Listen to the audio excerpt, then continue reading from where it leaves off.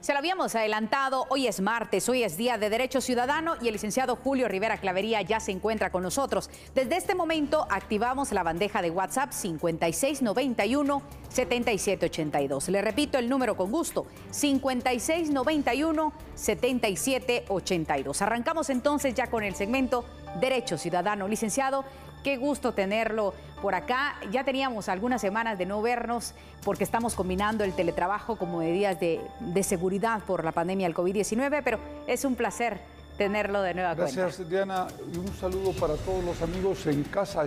A nivel nacional, de verdad es que a mí me da muchísimo gusto que vean este programa porque al final es su programa y son ustedes los que estructuran y arman este programa.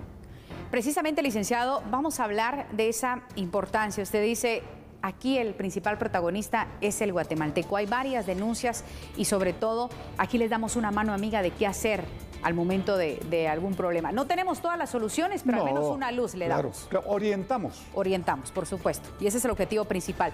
Vamos a hablar con lo que comenzaba. El teletrabajo, la importancia de esto. Y usted lo decía, en enero Viene un incremento de casos porque las festividades nos van a pasar la factura y eso lo ha revelado ya el Ministerio de Salud ayer con su último reporte de más casos positivos.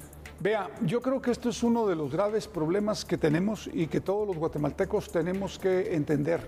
Desgraciadamente, durante las fiestas se rompió todos los, todas las, eh, eh, los eh, condicionamientos que había puesto el gobierno y las medidas de prevención y como resultado el incremento de la, de la, de la pandemia de COVID se disparó los números de infectados. Yo creo que, yo creo que aquí lo, es oportuno llamar tanto a los empresarios, al sector privado como al sector público para hacer una revisión del tema del teletrabajo. ¿Por qué? Porque en la medida que logremos que efectivamente bastante gente se quede en casa trabajando, en esa medida vamos a, ayudar a que no se siga transmitiendo esta infección. Desde luego, para eso los sistemas de información tienen que estar lo suficientemente consolidados y, fortalecidos, pero también tiene que haber una evaluación del trabajo de la gente que se queda en casa. Claro, claro. Porque la verdad es que muchos creen que porque uno se tiene que quedar en casa ya no hay que trabajar. No, hay que seguir haciendo el trabajo normal, solo que desde casa. Pero yo creo que hay que hacer un llamado a la reflexión a los señores empresarios y al sector público, porque efectivamente el número de infectados se ha disparado y va a crecer más.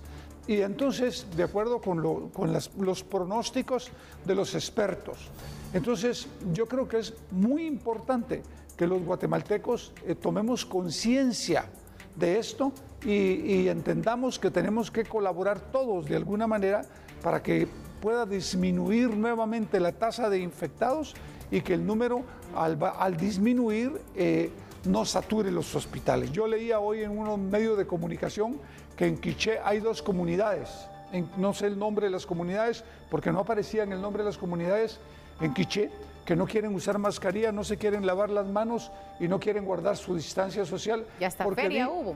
Porque dicen que el COVID no existe. Por favor, no crean a las personas que están corriendo esos rumores en las redes sociales. El COVID-19 no solo existe, sino mata gente. Y lo pueden comprobar en, en, otros países en el mundo y también en Guatemala, en donde todos los hospitales públicos están casi que colapsados, al igual que los privados en los intensivos. Por favor, actuemos con responsabilidad. Licenciado, y sobre todo que usted menciona la importancia del teletrabajo considerando que en Guatemala hay una gran cantidad de personas que vive de la economía informal y que si no salen un día a trabajar, pues no comen. Lamentablemente esa es la dura realidad, de muchos de los guatemaltecos. Entonces, a los que sí se puede combinar el teletrabajo, hay que tomar esa responsabilidad y eso que ya viene, se acerca la vacuna, pero también van a ser protocolos específicos que habrá que tomar en cuenta ante el anuncio de una nueva cepa del coronavirus, no se sabe.